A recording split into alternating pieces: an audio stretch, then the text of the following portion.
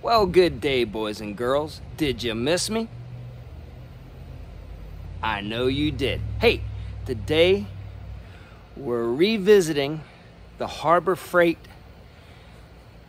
100 watt solar panel kit that I got. And I know a lot of people are to rip on me in the solar world, say, I would never buy that. Well, don't ever say never. Listen, I bought this thing at Harbor Freight with like the 25% off coupon while it was on sale.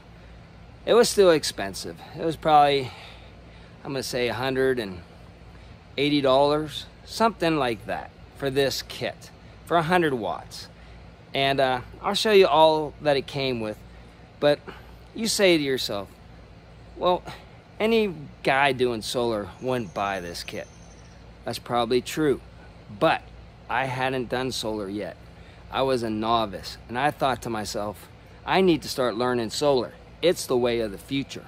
So I said, hey, I'm gonna buy this kit from Harbor Freight because I know nothing. I'm just gonna go down to the store, buy it.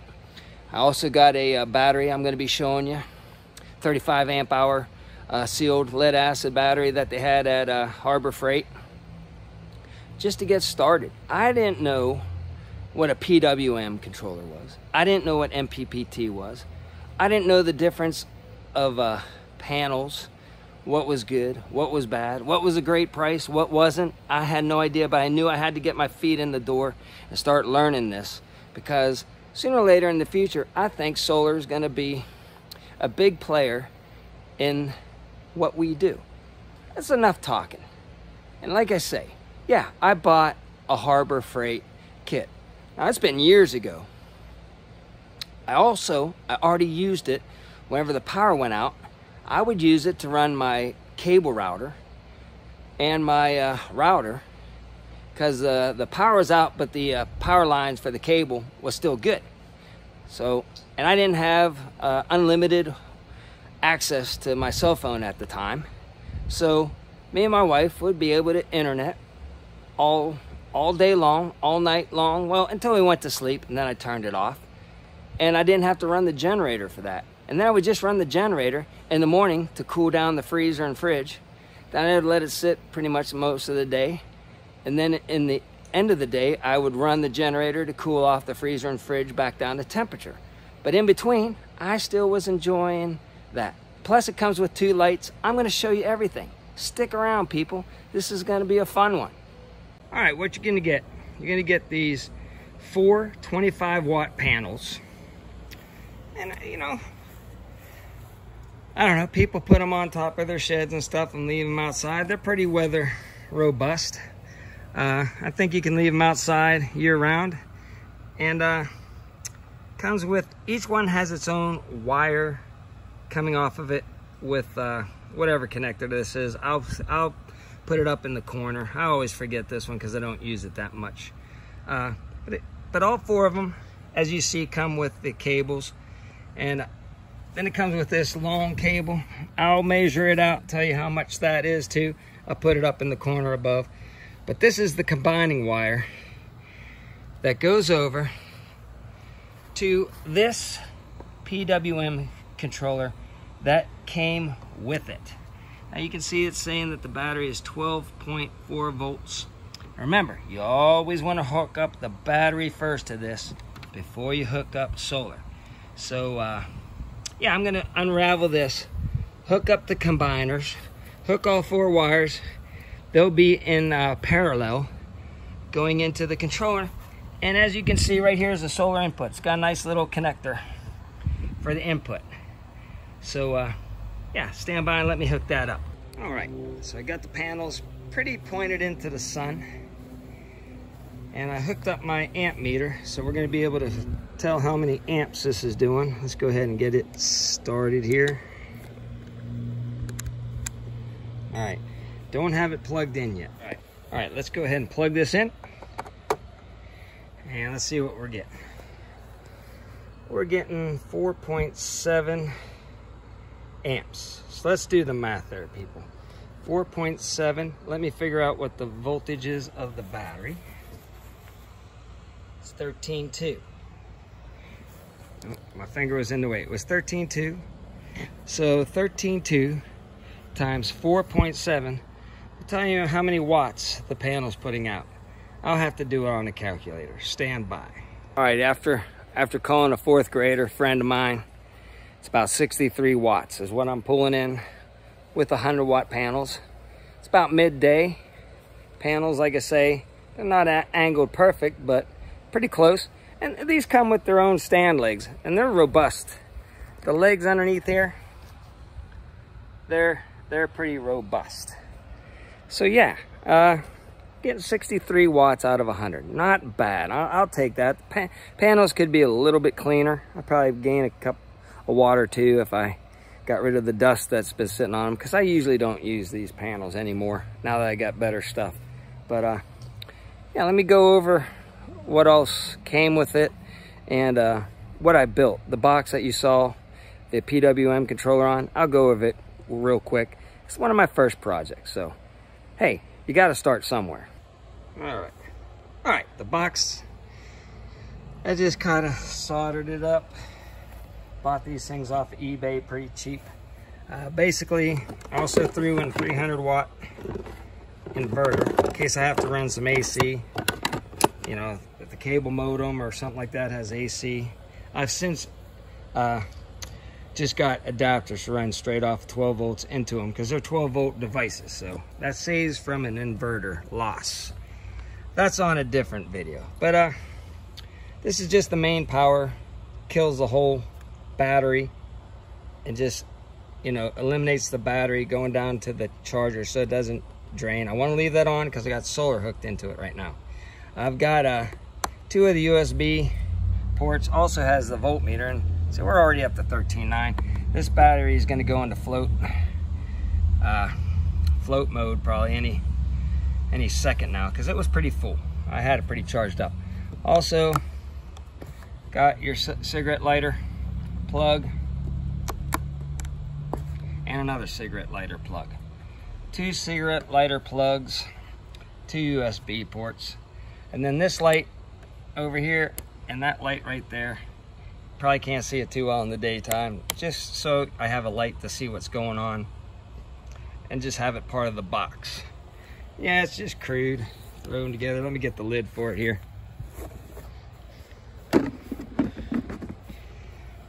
So yeah, none of that came with, uh, only the controller came with it. The panels, the cable, with, with pretty darn long extensions on the panels along with the extension, you get, get pretty far away.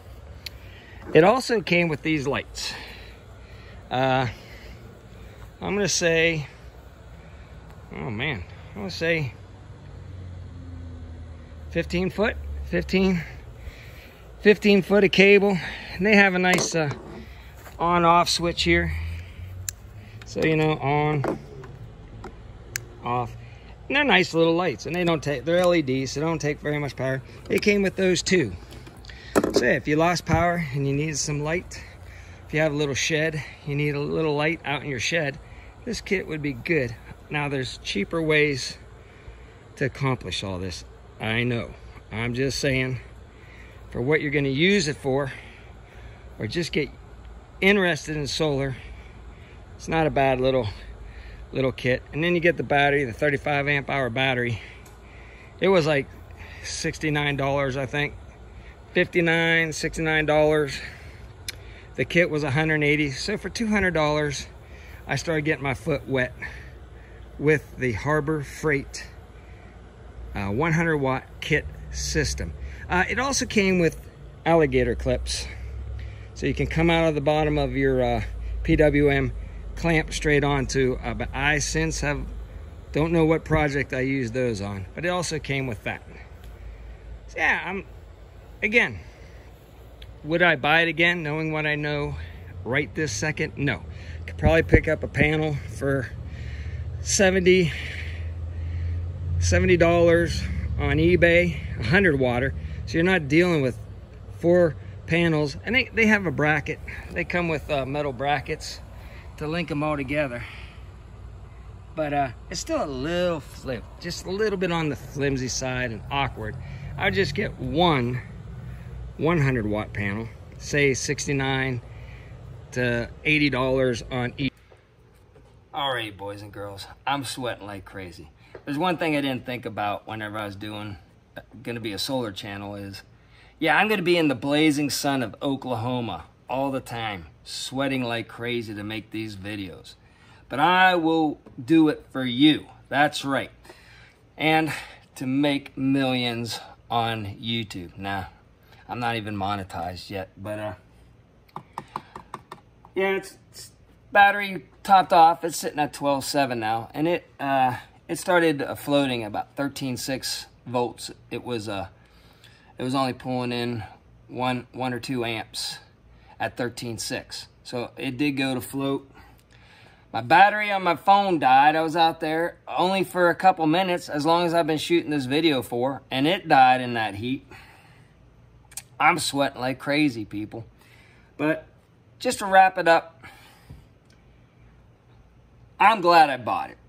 I, you know, after I bought it and did more research, kind of was like, oh, I could have got away a lot cheaper. But to be honest with you, if you need something to just back up, charge your phones up, power goes out, have a couple lights, run, you know, some of your electronics, low wattage, or else that 35 amp hour battery ain't gonna last too long. But if you just need something to run like that cable modem and a router, those two things didn't draw very much at all. I could have ran all night long, but I, I, would turn it off whenever I went to sleep. No reason to, to run it. And I could have lights in my in my bedroom and not be sweating about batteries and all that stuff. And those things are bright, man. I'll light up a whole room, no problem. So, yeah, I would look around, watch some more videos before you purchase. So if you found it on Marketplace, heck, I see them going up for like 80 bucks. About that price, it'd probably be worth getting the whole, the whole kit for 80 bucks. And then get, you know, your foot in, get an old lead acid battery. Uh, again, the battery in here is a Thunderbolt lead acid, sealed lead acid, so I don't have to worry about it spilling or anything like that, or gases while it's uh, charging up. Sealed lead acid battery that, again, it was probably 60 bucks back in the day, somewhere around there. 59, you know, uh, $69 and 35 amp hour batteries. But you can pick up or use one of your old batteries just to get started and learning the solar industry. That's all it's for. And again, I'm really glad I bought it. Will I ever use it again? I, I'll drag it out. If I lose power, I'm I'm bringing out everything. I, I've got uh, I've got three 400 watt panels right there, so 1200 watts. I can drag out, and I I built some solar power generators. You can look at my video on. I built three of them. Go back and look at my video. Uh, the solar chuck wagon. Go look that up. I'm about ready to go camping with it, but it's too darn blasted hot right now to go camping. It's got a 370 watt panel. I got it for $75. So there you go. See, 370 watts compared to just 100 watts for $75. Heck yeah, you know. So, uh, I got that. I've got a 300, a Dokio, go watch that video. Uh, portable solar panel that I can throw out there. And I got some Jackery panels I paid way too much for. I'll probably never buy them again. They're really nice though. They're not going to wear out, but they were high price. I should, my, actually my wife got them. You can yell at her for that. I was like, and she got the Jackery, which was the older model with the battery technology that took slower to charge up. Now it's way faster, but it was a good deal because it was the older model and my wife picked me those up for like Christmas or something like that. And you learn as you go while you do solar. The more you do, the more you learn. So just get used to solar. Have some fun with it. That's what this channel's for. Is uh, I'm playing around with it, giving my knowledge to you. And uh, heck, write in the comments below, if you think I'm an idiot for buying the thing. Or was it like, yeah, just get started. Do something to get off your butt and get used to solar. That's the way I look at it. Well, that's it, boys and girls. I hope you have a good day. God bless you all. Have a great day and uh, get out there and start playing with solar. Even though it's a thousand degrees bejesus out there, it's better than sitting on your butt not learning anything new. Get out there. Get after it. Let's learn together.